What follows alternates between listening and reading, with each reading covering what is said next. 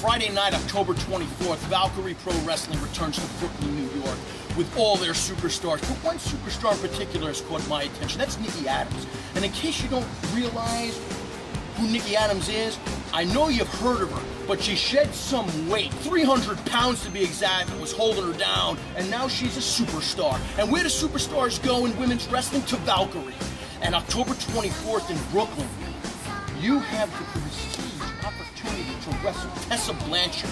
Now, I know you guys know the Blanchard name, third generation superstar. I know you know who Tully is. He was in the Four Horsemen, Diamond in the Rough. Tessa Blanchard, I've heard great things about you. But remember something, you're stepping in the ring with somebody who's worked hard for months, blood, sweat, and tears.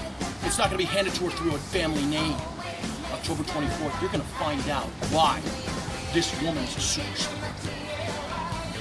Tessa Blanchard, you may be a third generation star, but what does that have to do with anything?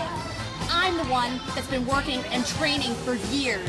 I'm the one with the experience. What are you gonna do when it comes time to face me? I'd like to know because I'm waiting for you. You're gonna see why superstars last.